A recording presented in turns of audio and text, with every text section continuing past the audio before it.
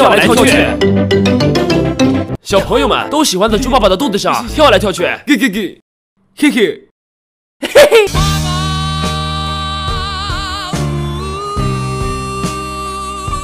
海边，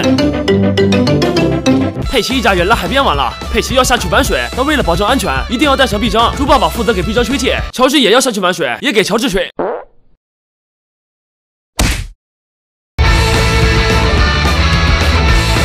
哦，猪爸爸，我可以把你埋到沙子里吗？哦，这不太好吧。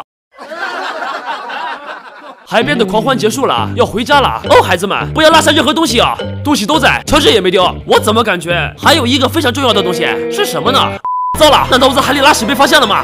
给给给！哦，是我多虑了。我知道。哎呀，我就说嘛，差点酿成大错。原来是猪妈帽子没拿呀，这个太重要了。为所有爱执着自从，一只猪。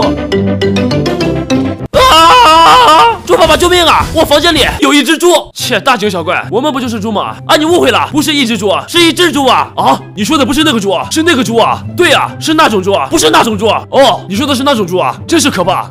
你俩是不是有病？哈哈，别怕，小蜘蛛而已嘛。看我徒手把它捏爆！区区小蜘蛛，出来受！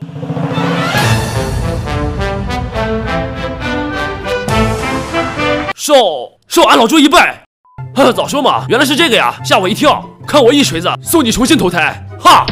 问题解决了，佩奇，他是我儿子，你刚才把我儿子砸死了，所以，所以你也要砸死我儿子？不要啊，我很爱我儿子的，请不要伤害他，所以我要砸死你啊！佩奇的生日，今天是佩奇的生日，佩奇诚挚的邀请他的小伙伴们来参加派对。大家好啊，生日快乐，生日快乐，生日快乐，生日快乐，生日快乐，生日快乐，生日快乐！我的生日礼物呢？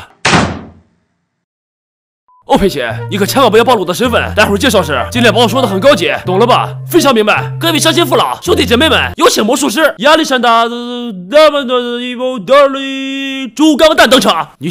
这里有三个球，当我转过身时，你随便选择一个，我就会精准无比的猜出你所选的颜色。那么接下来你的选择是红球，不是，呃，蓝球也不对，黄球，黄球总对了吧？就三个吧？不过也不是，明明就三个，怎么可能啊？点赞过六千，必出下集。